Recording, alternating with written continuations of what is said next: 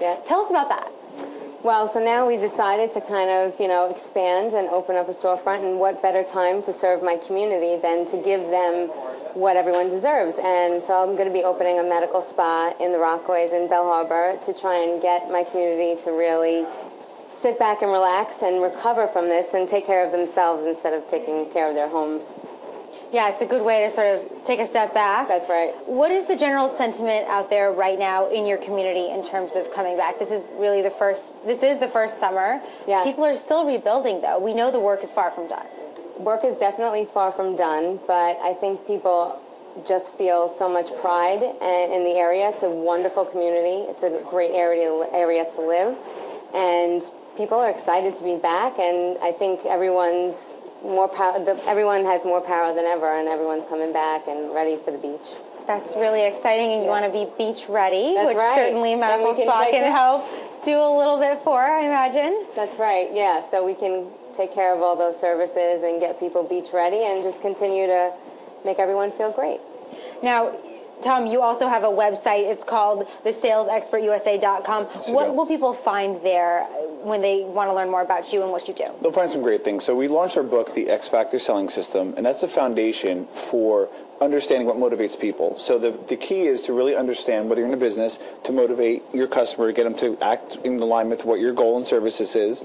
Um, number two, we provide business services to folks who want to get back on their feet. And then number three, we work to help people brand their services. So for the most part, we do pretty much full service sales and marketing uh, consultancy. And we have a great book that hit number one on Amazon in this category um, that we really believe if people read it and they know what we're about, our phone has been ringing off the hook and we feel it's going to ring even more so because we are helping businesses like Nicole. Well, you know, it's certainly good news. I know social the social media space Yes. is really critical to success, especially when you're bouncing back and you have limited resources. Yes. What are a few things our viewers and our folks in our online chat can learn from you on that? Okay, I always say that you need the big, you need Facebook, you need Instagram, you want to set up a WordPress blog, um, Oh, okay. you want to set up a like page for your business, Mm-hmm. and then lastly, I'm a big proponent of Klout, K-L-O-U-T dot com. Yes, I am on Klout. uh, what is your score? I haven't checked recently, but Okay. it's probably not very high right My now. score, I, I, I peaked at 69, Okay. and um, 65 and higher is top 5%. So the great thing is it gives you a score on how well you're doing. And at X Factor Selling Systems, we rely heavily on social media Mm-hmm. because it's quick, it's easy, and it gets right to the point. And it's frankly the least expensive medium. It's the least expensive, but sometimes people abuse it, and you don't. You, want, you might want to unfollow or something like that. Correct. How do you guys avoid that? How do you make sure that what you're putting out there is exactly how you want it to be and the most effective in getting business?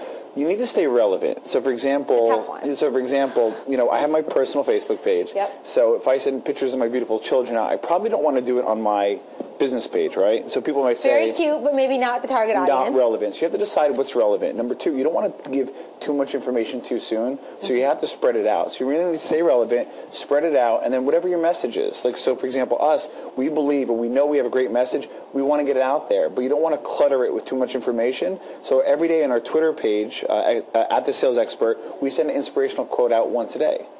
So it's not just about business; it's also about inspiring them to be great. That's a our little mission nugget, putting it out there. little by little. And sometimes you want to show just a little leg to get to what you want to get. But I always say that jokingly. No pun intended here. We're talking about spas. Exactly, exactly. But you just want to show a little bit to get there. Yeah. For the simple fact that you want to show them, you know what? Hey, this person not just want, wants my business, but they actually care about me and they want to help motivate me to help inspire to be great.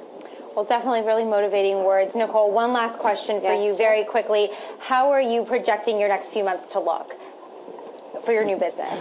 Uh, well, I consult Tom for that. He's projecting how my business is going to look, but um, you know, I'm just hoping for the best and hoping for success, of course, and that's really it. I'm just Well, ready. it sounds like you're rearing to go. You have a bunch of great tools. We wish you all the best. Thank you Thank so you much. both for joining us today. Thank Hope you you'll come us. back.